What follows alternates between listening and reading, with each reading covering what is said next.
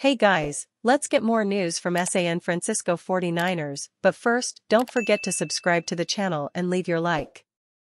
49ers Brock Purdy reflects on past NFC Championship heartbreak. San Francisco 49ers second-year quarterback Brock Purdy is looking to put the events of last January's NFC Championship game in the past as he and his teammates prepare for this coming Sunday's conference title matchup versus the Detroit Lions. Last year happened, Purdy told Albert Breer of Sports Illustrated following San Francisco's gritty 24-21 win over the Green Bay Packers this past Saturday. It sucked. We all thought we had a team to go all the way and do it. We didn't get an opportunity to. Now, we're back. It's been a quick year. We're all excited for this opportunity.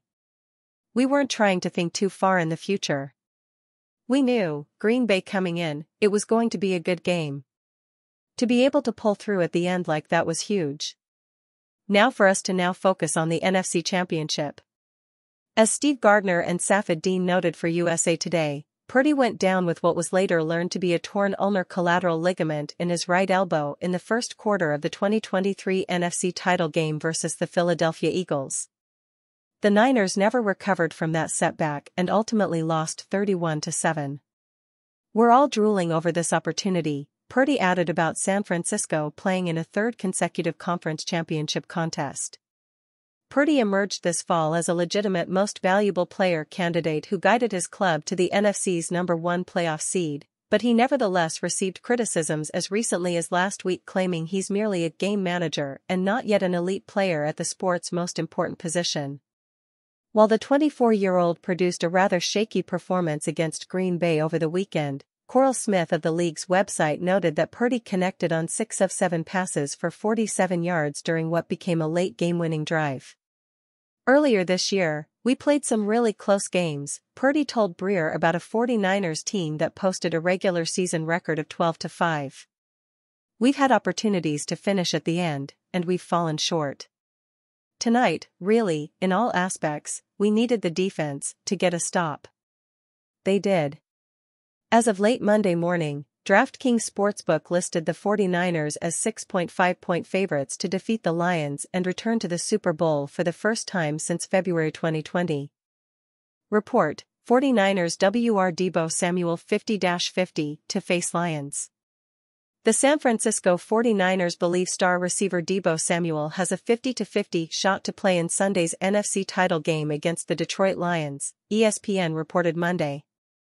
Samuel sustained an injury to his left shoulder in the first half of Saturday's divisional round win against the Green Bay Packers and did not play in the second half. He caught two passes for 24 yards in the 24 to 21 victory. Samuel, 28, caught 60 passes for 892 yards and 7 touchdowns, and rushed for 225 yards and 5 scores in 15 games during the 2023 regular season. He missed week 7 and 8 with a shoulder injury. He reportedly underwent medical testing on Sunday, but the team had not announced the results as of Monday morning. One of the biggest question marks for the 49ers heading into the NFC Championship game against the Detroit Lions will be whether WR Deebo Samuel can suit up to play. According to a report from ESPN's Adam Schefter on Monday, Samuel has a 50-50 chance to play after injuring his shoulder in the divisional round versus the Packers. It's unclear exactly what the injury is. Earlier this season in Week 6 a hairline fracture to the shoulder forced Samuel to miss all of that game and the next two before returning after the bye week. Head coach Kyle Shanahan on Monday will speak with reporters and could have a more definitive update on the exact ailment and timeline Samuel and the 49ers are looking at. Wild proposed San Francisco 49ers makes $96 million star trade.